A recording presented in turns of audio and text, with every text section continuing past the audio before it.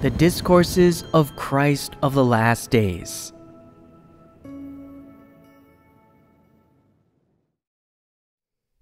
It is important to rectify relations between man and God.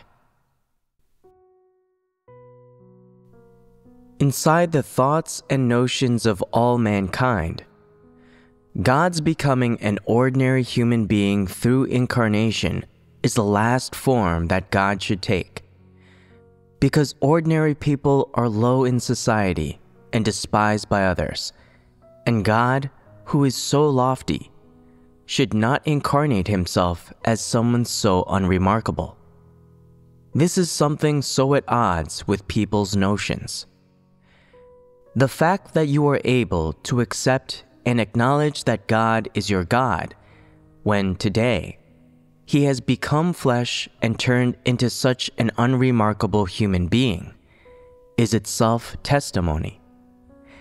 And that being so, what could possibly influence or harm your normal relationship with God? Nothing.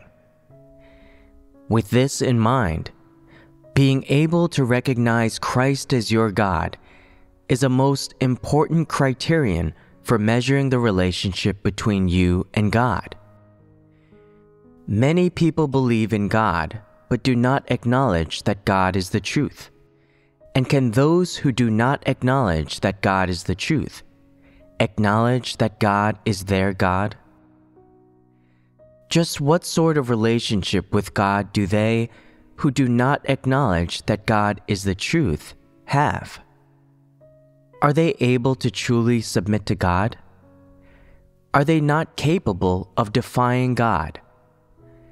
You must see these things clearly.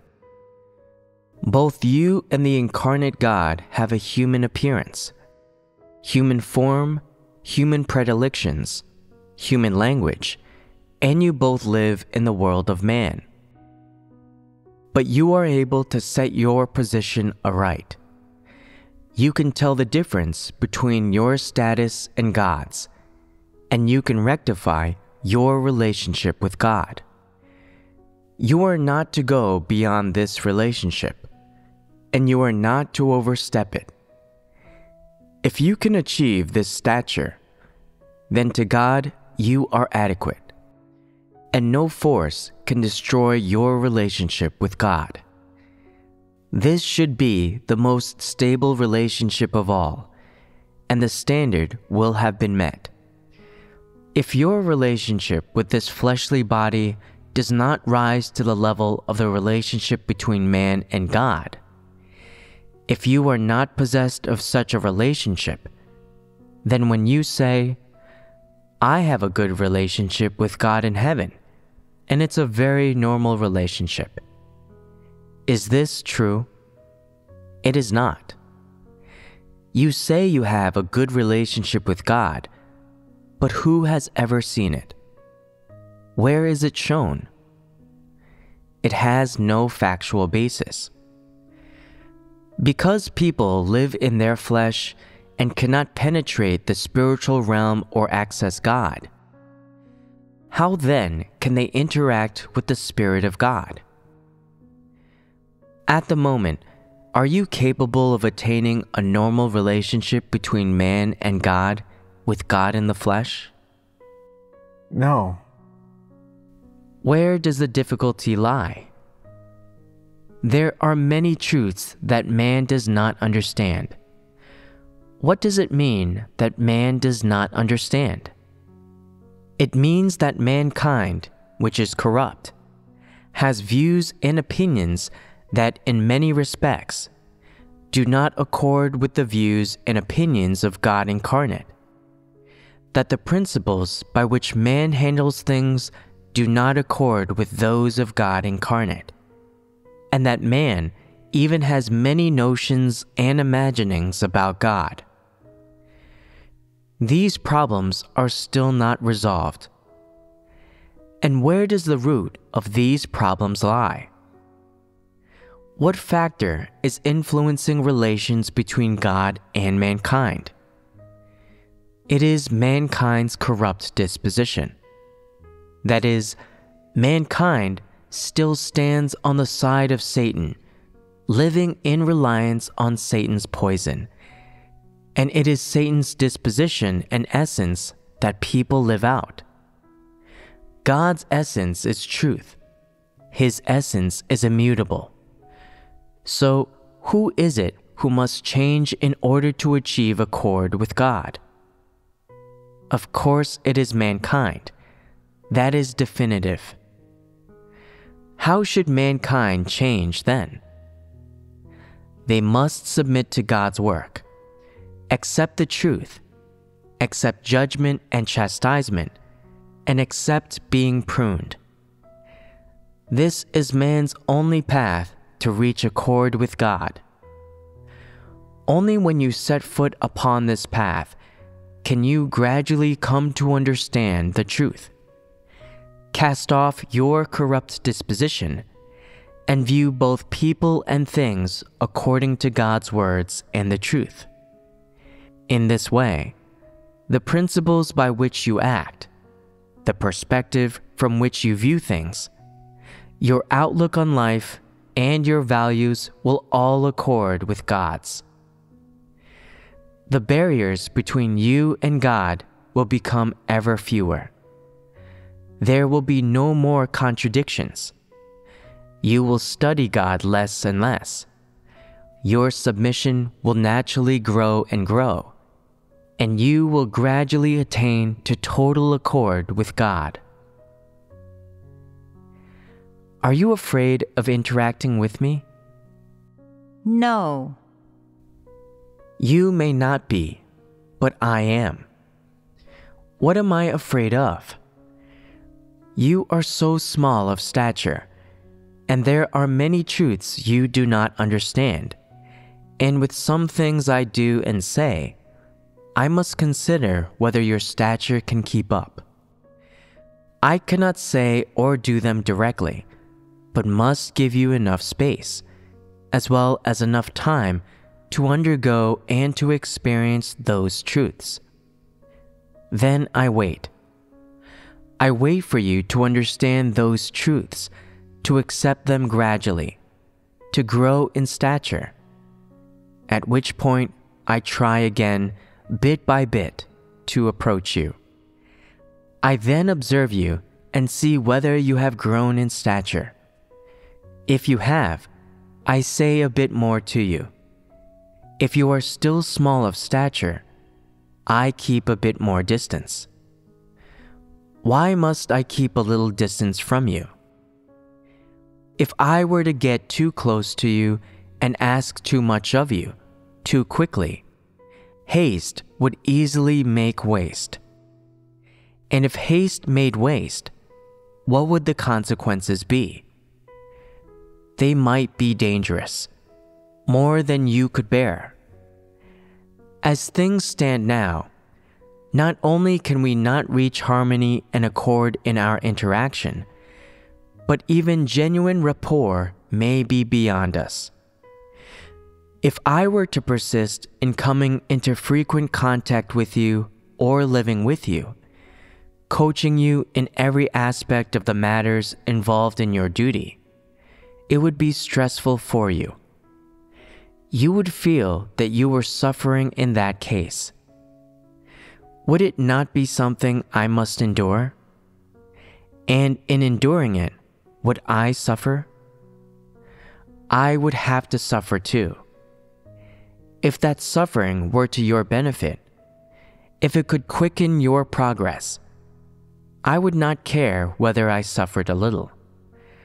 I would simply put up with more, speak a bit less, be more lenient and wait for you a bit more with a bit of patience. This would be no bother. If you suffered some things before time, could it yield results to an extent? Perhaps to a special few, those who can comprehend the truth and who possess both conscience and sense, who are fair and reasonable, and who, furthermore, especially love the truth, who can persistently pursue the truth, and who, in the pit of their heart, are uncompromising in their love and pursuit of the light and positive things. People like Peter, who was proactive and positive in pursuing the truth. Only people with such a humanity, such a pursuit, and with such comprehension could undergo such suffering ahead of time. Are there any among you who meet these criteria? No. Well, then, I'm sorry to say we will have to keep our distance so that you do not undergo such suffering prematurely. So, when will you undergo it? When you have grown to a certain stature. God will naturally arrange environments, people, events, and things for you. It is just as with Job. When he grew to a certain stature, Satan came before God with a charge against him. And God permitted Satan to tempt Job, to submit him to temptation, resulting in Job's being deprived of his whole fortune. Is this far off for you? How far? One side of this depends on your pursuit. The other depends on the demands of God's work, on the articulation He has established in His plan. And what articulation is that? It is when that time comes at which people are essentially equipped with all the truth and understand it. Yet, if some people are still not there in terms of stature, what is to be done? When the time is right, God will act. Do you think you can hide? There is no one who can sneak past this juncture. This is called the inspection of man's work, and everyone must go through it. None can pass early and none can lag behind. None can pass early means that if a person's stature is not there, and they did not hear much of the truth, then when that person asks God to test them, he will not. No one will be exempt from this, for God sees everyone as equals and gives everyone equal opportunities and He provides and works the same for all. So now, is my adopting such an attitude according to your state and the stature you possess not of benefit to you? It is just right for you, just what you need now. While you are normally performing your duties in each area, you are also being supplied with the truths you need to possess and understand without the least delay, so that you may be availed of provision and aid in time and by measure. Then, as you perform your duty, you will gradually digest, absorb, and experience these truths and find the principles of the truth and the path of practice. Little by little, you will grasp God's will, and thereby man and God's relationship will be set aright, and you will occupy the station of a created being, which is to assume your post and be steadfast in your duty. And after this, there may be some people who, without their realizing it, undergo trials and refinement. When will that happen? I will tell you with the one sentence that applies trials will come as planned. This may be a bit abstract, but to God, that is simply how it is. When the time comes for God to act, you will not be able to hide, try as you might. What will I do now? I will keep my post occupy my station, and do my work, neither holding back nor rushing forward, but doing my work according to its prescribed order. all of your paths to salvation are open. I will not seal them, much less delay you. Does anyone ask in worry, By following you, can we be saved? Perhaps some people have never considered this question. But that is not the same as not having had doubt. And this doubt may yet exist. So I will tell you something true. You have no need to worry. I should worry before you should. It is I who most ought to worry, but I never do. So what are you worried about? Are you not worrying too much? You worry too much, and there is no need to. I never worry about this matter because it is not something for which I must take responsibility. Is that not a good thing? So, who does take responsibility for it? Some say, It's so irresponsible of you to say that. If you're not responsible, who is? I do not need to take responsibility because I never have such worries. I have no need for apprehension, no need to look into this matter.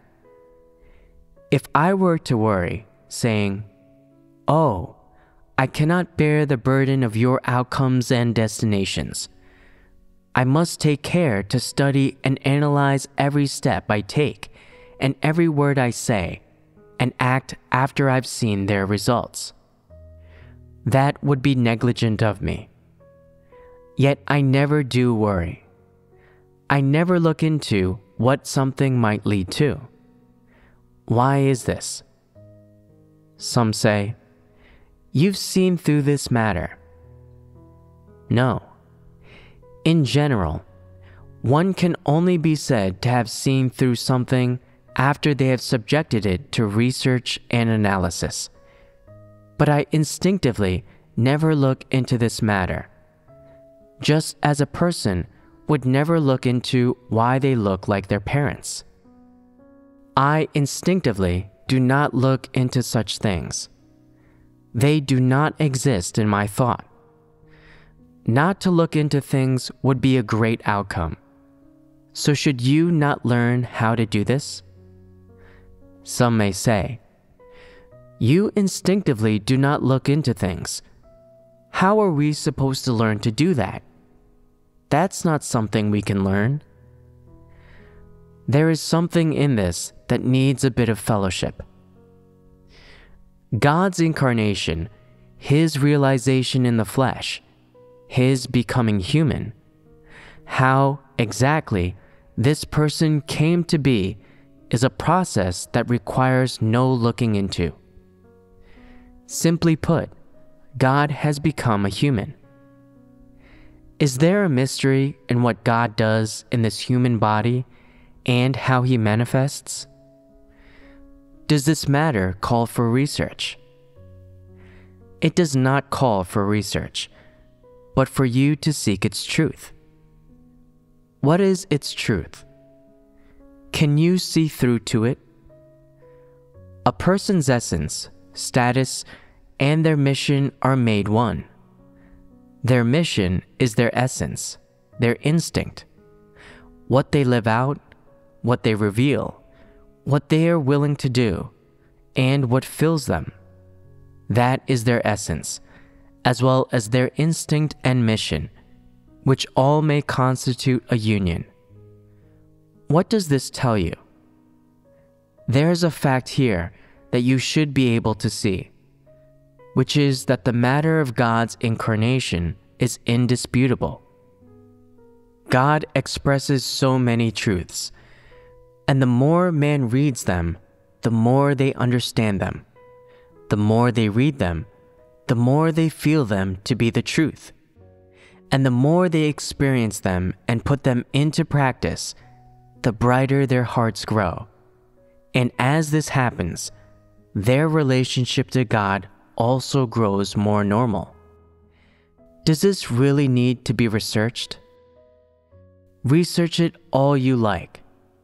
You will not understand what the truth is about through research. Understanding of the truth relies on experience. As one gains more experiences, they naturally understand what the truth is about. And having understood the truth, they naturally come to have knowledge of God. This is why I say that achieving knowledge of God's work relies on understanding the truth. Some absurd people do not love the truth and never put it into practice. And from the time they came to believe in God, they have been studying Him. Study as they may, can they attain knowledge of God in this way?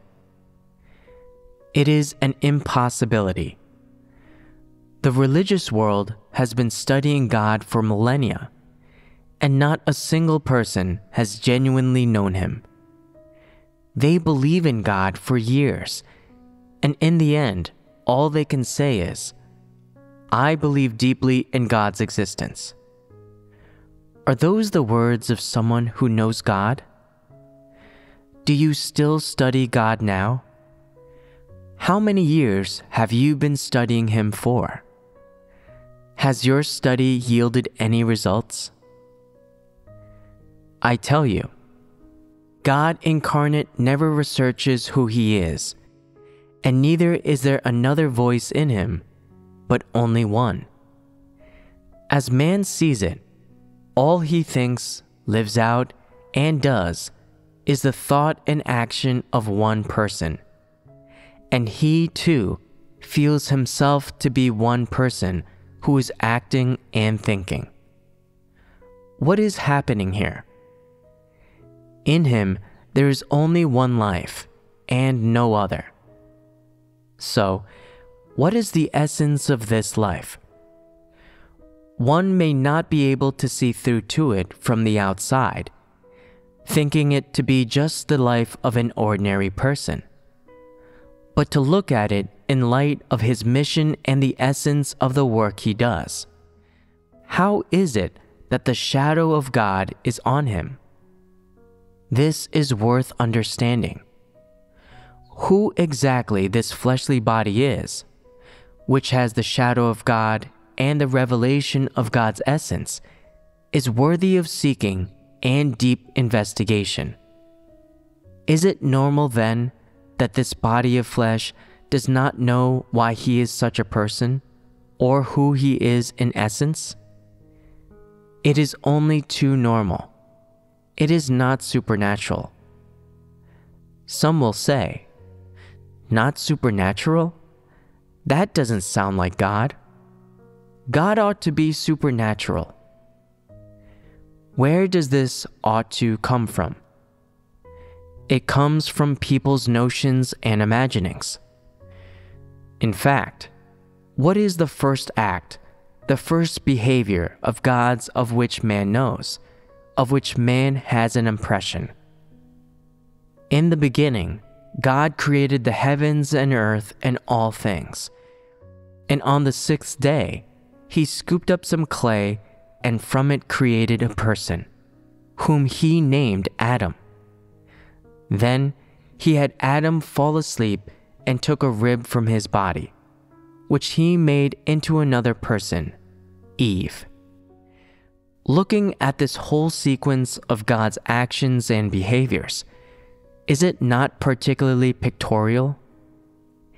Each action is so real, which does not square with the God of people's imaginings and notions. It surpasses man's imaginings of the supernatural. So now, when people come into contact with God incarnate and hear the words he speaks and see all he does, then hold those things up for comparison against God's actual actions and behaviors when He created man in the beginning? Are there discrepancies there? Is there a disparity? There may be because you have never seen those actions. To look at it practically, however, when one compares the manner and source of God's utterances in the beginning with the manner and source of His speaking now, there is no fundamental disparity. Why do I say fundamental? The word fundamental has its meaning. What does fundamental mean here? It means that in man's heart, there is yet something of a supernatural element to the actual things that man thinks God does, and the manner in which man thinks he speaks. Whereas the manner and method and tone of God's speech that man sees and hears now are quite practical, able to be grasped and seen, without a supernatural element and without room for man's imaginings. There is distance between these two things. And that distance is ultimately and fundamentally identical from your point of view. That is where that fundamental comes from. Is it necessary to fellowship these most truthful, heartfelt words to you today? Why speak of such things? Many people have constantly felt these matters of God incarnate to be quite mysterious, unfathomable, and wish always to study them. Studying these things interferes with your relationship with God. Can you still enter the truth if you are always studying God? If you are always studying Him, you will not take His words as the truth and your relationship with him will be distorted, deviant, and abnormal. So, how can you make your relationship increasingly normal? By regarding all he does normally, including this fleshly body of his, and seeking bit by bit to accept him in your heart. Accept him in every aspect. The manner and tone of his speech, and even his appearance, the way he looks. You must accept this. If you do not, but always study him, studying this and studying that, then in the end, the one who gets the worst of it and suffers a loss will be you. This fact, brought about by God, will not change.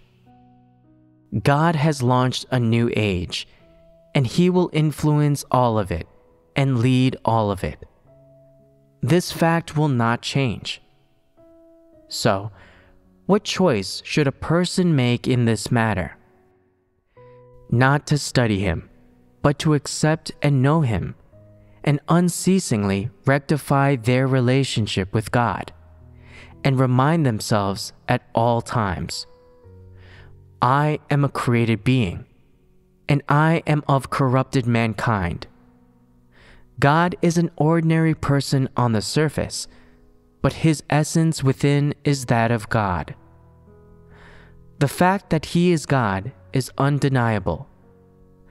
Whatever he does externally, whatever he says, and however he acts is not in the purview of my study. This is the sort of reason I should have and this is the station I should occupy. I have spoken with you today a bit about myself, so that you may have understanding and clarity about these things, and not always in a haze about them, as if I were concealing something I would not have you know.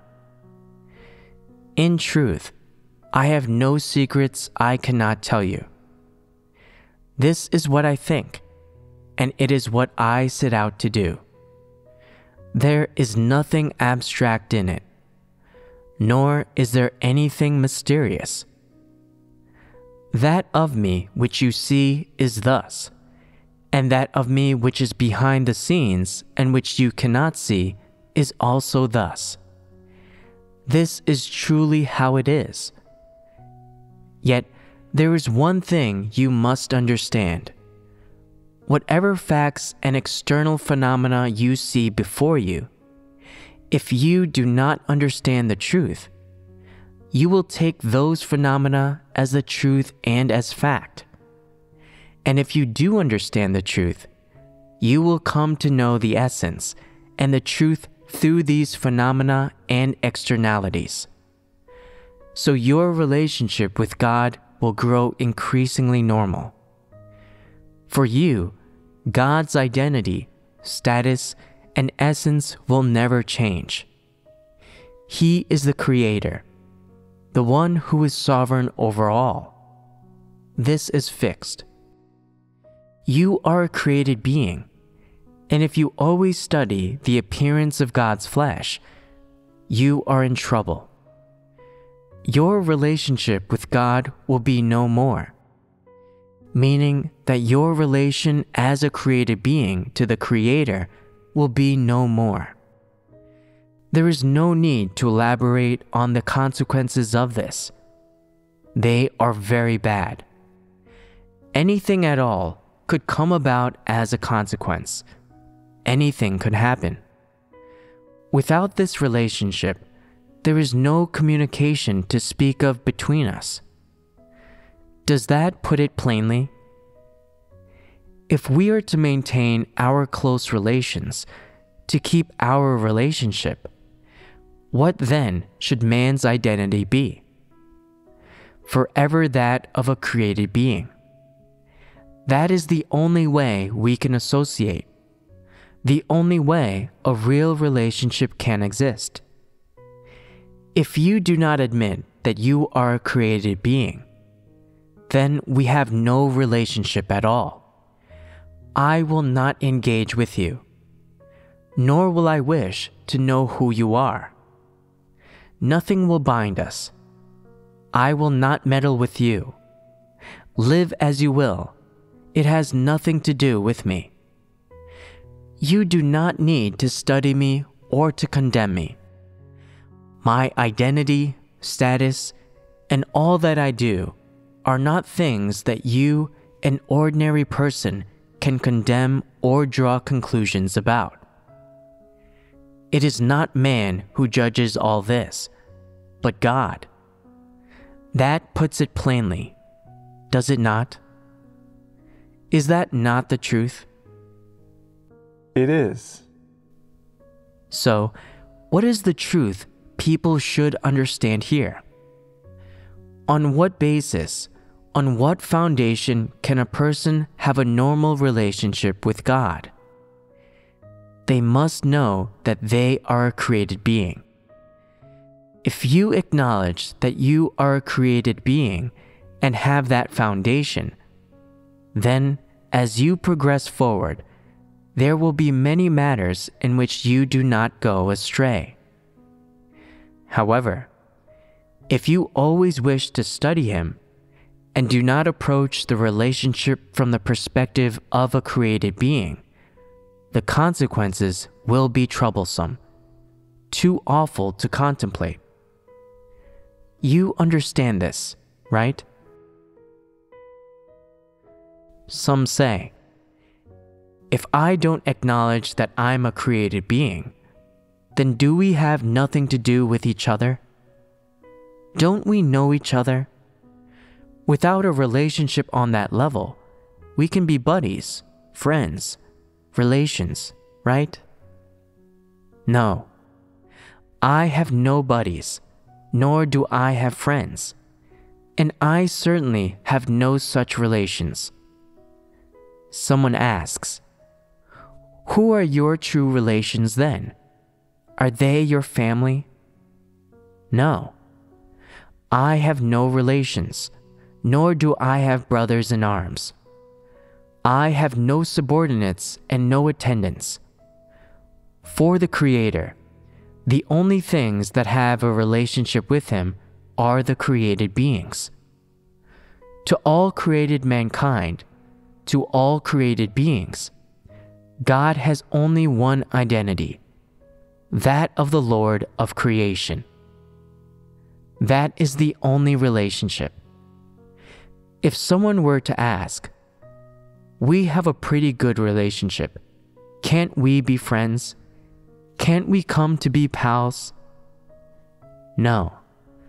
I do not know you. I do not know who you are. Why would I be friends with you? There is no such relationship for us. They say, You're speaking too definitively here, aren't you? Aren't you being too callous? It is as definitive as this. I have no need of such relationships. All I do and say is given to provide for viable targets of provision. And who are those targets?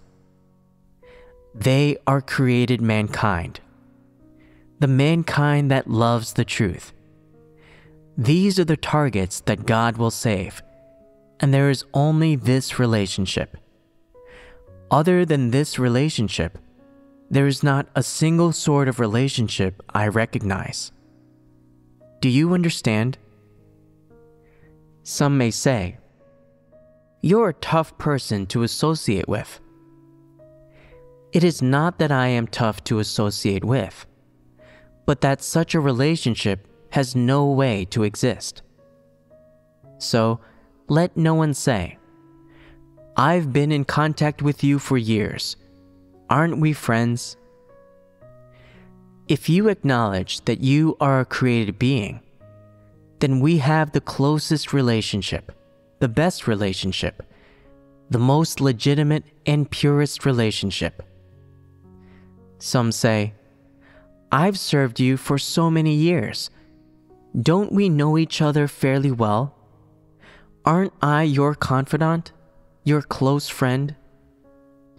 No, I have no close friends. Some say, You always tell me what you like to wear and which people you like, and I tell you the same. There's nothing we don't discuss. So aren't we friends? No, I do not make friends with people. I have no friends. If you are a created being, then we have something to discuss. We can interact and establish a relationship and build camaraderie. But are we friends once camaraderie has been built between us? No. The relationship between created beings and the Creator never changes. Some people have taken me in and shielded me, and for that, they think they have merit, that they are my rescuers. That is not the way to put it. Everything is orchestrated by God. And should they ask, Aren't you devoid of gratitude? How is that statement to be explained? If someone cannot see something clearly, they cannot arbitrarily apply regulations to it. Doing so leads easily to judgment. If you know that you are a created being, how should you regard this matter? If you brandish this relationship to coerce me, or to get close to me or ingratiate yourself to me, then I tell you, you are mistaken.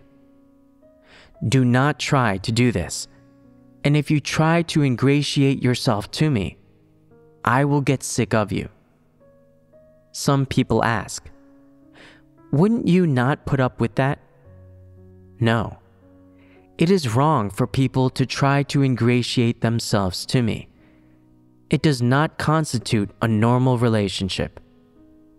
A few may say, I'm young, good looking, and articulate. Doesn't God like people like me? You must not speak like this. If you have such thoughts, you can look for the answers in God's words. Do not ever disgust me so. Does that put it plainly? It cannot be made any clearer. So, how should you understand this? The only relationship between man and God is that of a created being and the Creator. Correct man must put their station aright. Do not at any time flaunt your qualifications or rely on seniority, or play clever little games. And do not use any philosophy for worldly dealings in an attempt to alter your identity or your relationship with God. Do not try to, under any circumstances, you would be courting a rebuff. Do not engage in such a pointless struggle. It's useless. Why do people always relapse into their old ways? After today's talk, most of you will not get this wrong again. Will you? No. That spares me much worry. I do not wish to dwell on these things. They pain me. To a person with reason, these things are easy to understand. So many of God's words make mention of these things, and those who truly have comprehension ability should not find them hard to understand. For those who have followed God for many years and understand some truth, understanding these things will not be a problem, for people have gained much from God and know His work completely.